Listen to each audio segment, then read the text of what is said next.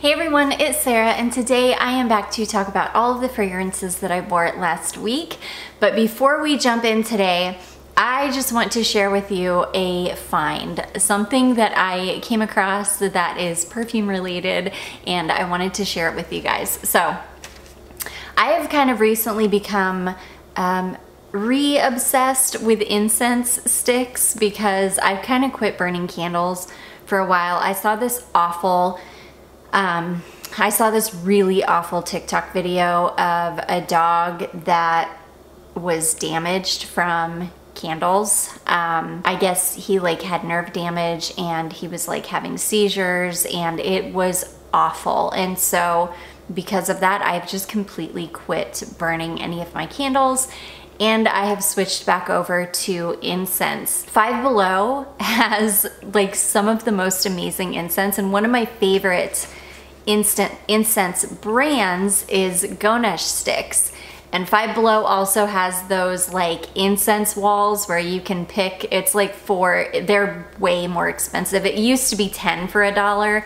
Now they're four for a dollar. I got 12 of those and then I picked up a bunch of these Ganesh sticks. I've got, I don't know, I think I've got six different scents in this one, but this is this one is called Herbal Woods and it says improve anyone's outlook with a tranquil blend of white sage and musk.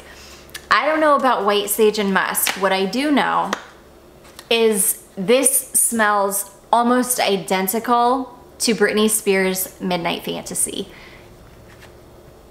In the packaging, when you burn it especially, when you start burning this, it smells identical to Britney Spears Midnight Fantasy. And I absolutely love it. This one, and then I've got one called Egypt, which is amazing. Um, I've got Palo Santo, which I absolutely adore. I've got one called Fresh Blossom, which is really nice. I've got the uh, lavender one. I've got Dragon's Blood.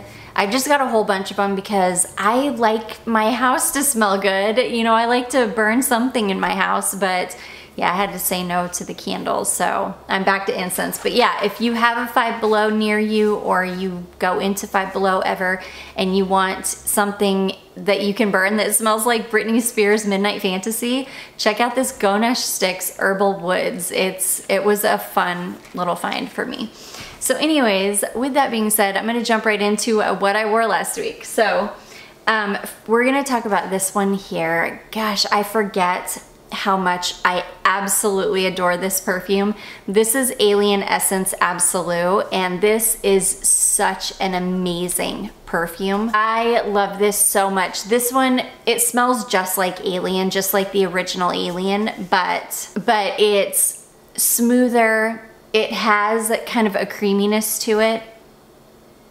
I used to, when I, when I smell this out of the bottle, I get strong cola vibes from it. I um, It really smells like a cola, like a really beautiful fizzy cola. But when you wear this, it's, it smells just like the original Alien, but it's so much more smooth. It's, ugh, it's just sweet and smooth and you get that kind of weird jasmine because it doesn't smell like any other jasmine I've ever smelled.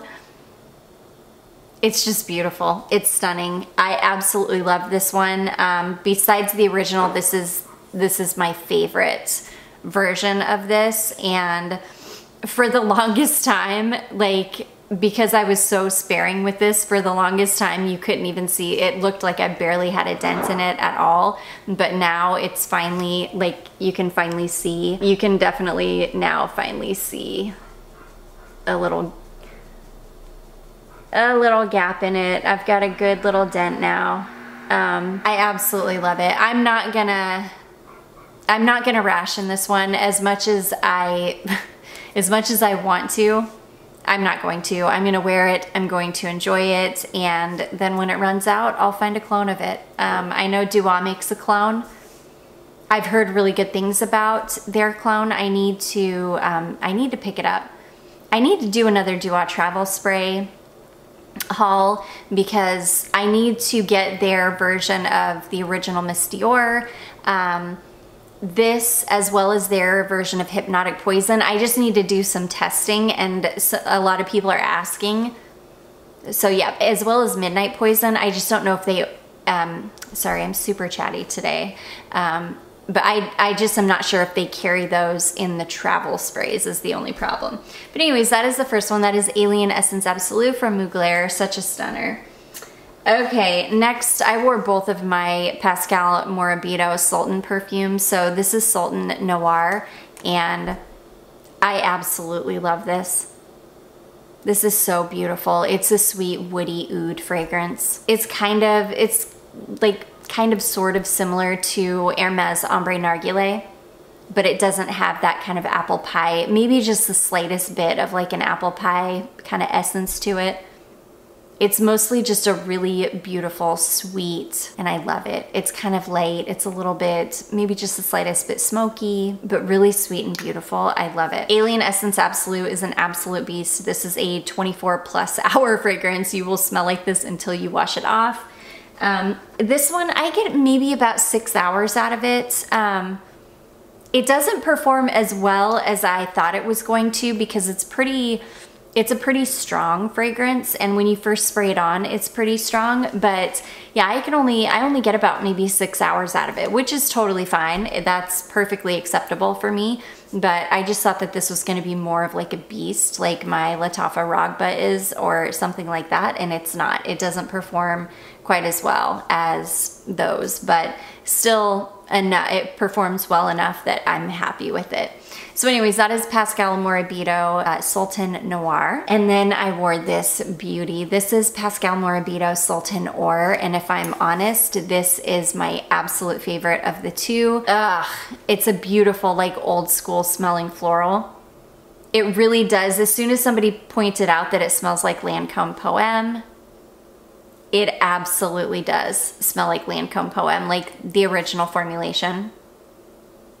It's beautiful. If you like a kind of vintagey, you know, kind of a 90s vintage leaning fragrance, I think you would love it.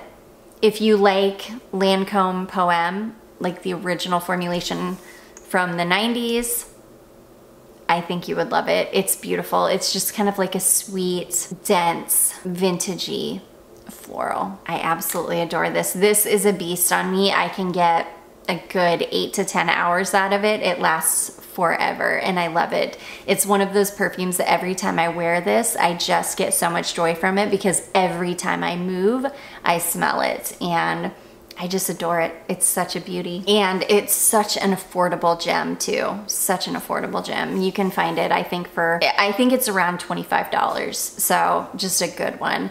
So anyways, that is Pascal at Morabito Sultan Or. Okay, next I wore this beauty. This is Stella McCartney Stella Rose Absolute. It smells like the original formulation of Stella is what it smells like. It's such a beautiful, dark, almost like an, this is gonna sound weird, but almost like an oily rose. Like a dark, syrupy, kind of oily, ambery Rose. I absolutely love this fragrance. I'm obsessed with it. Um, I have so much in this bottle. I need to pull this out and start wearing it more.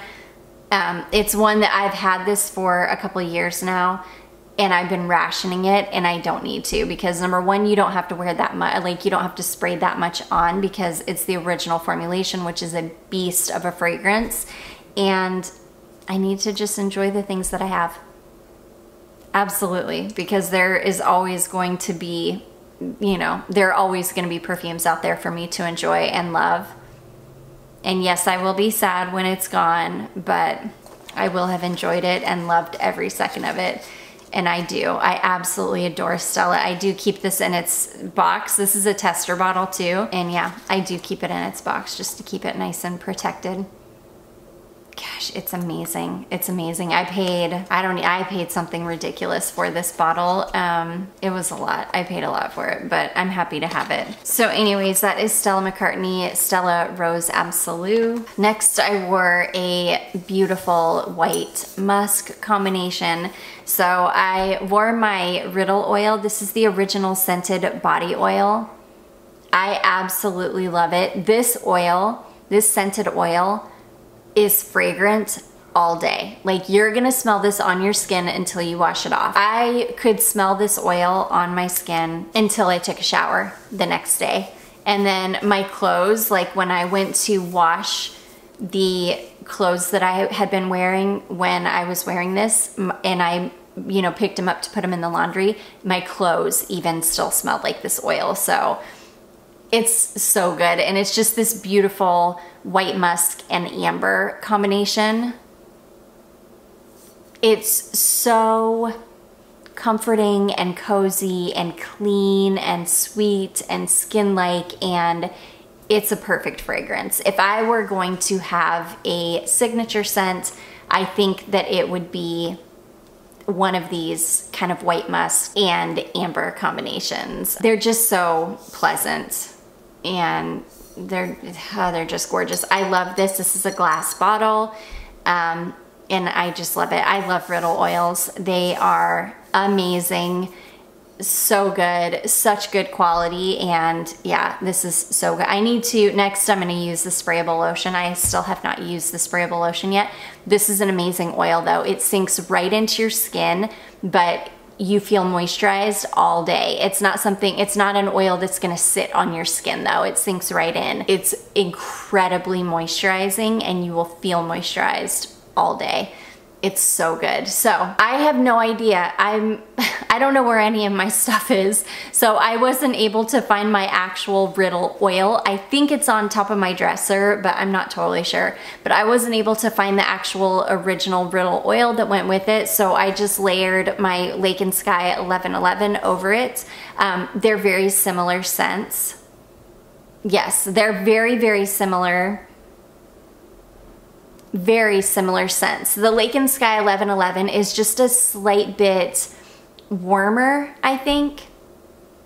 But together, it was an amazing combination. I mean, they're so, so similar. So it was kind of like a no-brainer. And uh, they're, it's, they're just so good. They're both just such good fragrances. The Riddle Oil Original and the Lake and Skye 1111 are just some of my favorite fragrances on the planet, if I had a signature, this is what I would want to smell like all the time. This is the smell that I would want associated with me because it's so, so good. So yeah, that is a combination that lasted until I took a shower and washed it off.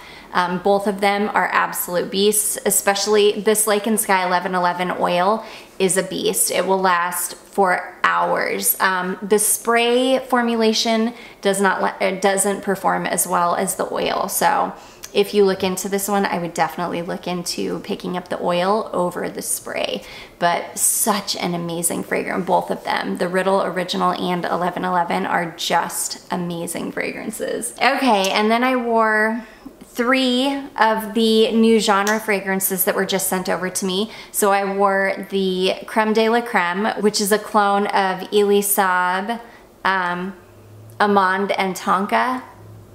I absolutely love this fragrance. It's gorgeous. It reminds me a lot of my Eclat d'Amande from Comptoir Sud Pacifique but this is a little bit smoother. The Comptoir Sud Pacifique ha actually has a cinnamon note in it, if I remember correctly. And it's, it is a very strong, um, it is pretty strong on the cinnamon, which I adore. This just kind of gives you the impression of cinnamon. It doesn't have cinnamon in it, I don't believe. But you kind of get that warmth, that feeling of cinnamon. I love it. It's a beautiful powdered almond and tonka fragrance. Um, two of my most favorite notes in perfumery. So this is right up my alley. I love it. I will be purchasing a full bottle of this um, at some point. I feel like I didn't see it on their Etsy page when I went, when I looked last time. But it's one that I will definitely be picking up a full bottle of. I absolutely love it. So that is um, Genre Parfums Creme de la Creme. And then I wore the Pomelicious. Yeah, I think that's how you say it. I'm probably saying it wrong, but Pomelicious, which is, um, oh my gosh, it's so good. This is a combination of Jo Malone Pomegranate Noir and Dior Fève Delicious, or Fève Delicieuse. Is that right? I feel like I'm not saying it right now. Gorgeous. It's beautiful. It smells like that beautiful kind of dry Tonka Fève, but with the kind of juicy pomegranate from the Jo Malone. It's beautiful. It leans just a touch masculine, but not so much that I would be uncomfortable wearing it. It's gorgeous. Um, the Iman Tonka, this one is just kind of by nature um, a lighter fragrance. I don't get a ton of time out of this. I need to try layering this over some lotion and I have a beautiful almond blossom lotion from Bath & Body Works. I'm gonna try layering this over to see if I can get a little bit more time out of it. Um, this one, I think I got maybe four hours or so. So this one definitely lasted longer. Um, I feel like after four hours, I would have probably wanted to reapply it, which again, for me is completely fine. And then the third one that I wore is Sweet Suede. And uh, Sweet Suede is, I already forget what Sweet Suede is a clone of. And I don't have my card near me. I'll put it on the screen for you. It's beautiful. It's sweet, yummy. I, it smells like, it smells like a sweet edible caramel fragrance but with a really beautiful like suede note in the base. Ugh, it's really pretty. I love this. This one lasted the longest out of all of them. This one I think I got about six hours out of, so this one definitely performs pretty well for me. So anyways, that one is Sweet Suede. And then last but not least, I wore this here. This is my YSL Manifesto fragrance. Um, this is my newest bottle. I pulled this one out because I just haven't, I haven't worn this one much and I just wanted to pull this one out and, you know, give it some love, get it going a little bit. These perfumes age beautifully, so that's why I wanted to pull it out and start using it because I want it to start aging because as it ages, it gets better and better. I absolutely love this fragrance, vanilla and tonka. It's got some flowers in the middle. I think it's got some jasmine. It's beautiful. It's like, it's sweet and cozy and comforting and one of my most favorite fragrances on the planet. This, um, the original Manifesto, my old bottle that's gotten really, really dark from age, that one performs really well. I can get, I don't know, six, eight hours out of that one. This one I only got maybe four hours out of because again, it does need to sit and age and I think as it ages, it will start to perform better. So anyways, that is YSL Manifesto. And that is gonna be it, guys. Those are all of the fragrances that I wore it last week. I do hope that you enjoyed this. If you did, don't forget to give it a big thumbs up. Don't forget to subscribe before you leave, and I will see you in my next one. Bye.